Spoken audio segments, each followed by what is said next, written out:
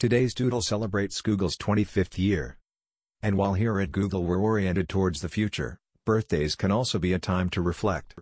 Let's take a walk down memory lane to learn how we were born 25 years ago. By fate or luck, doctoral students Sergey Brin and Larry Page met in Stanford University's computer science program in the late 90s. They quickly learned they shared a similar vision, make the World Wide Web a more accessible place. The pair worked tirelessly from their dorm rooms to develop a prototype for a better search engine. As they made meaningful progress on the project, they moved the operation to Google's first office, a rented garage. On September 27, 1998, Google Incorporated was officially born.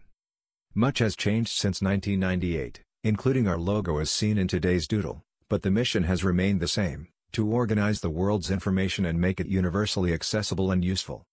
Billions of people from all over the globe use Google to search, connect, work, play, and so much more.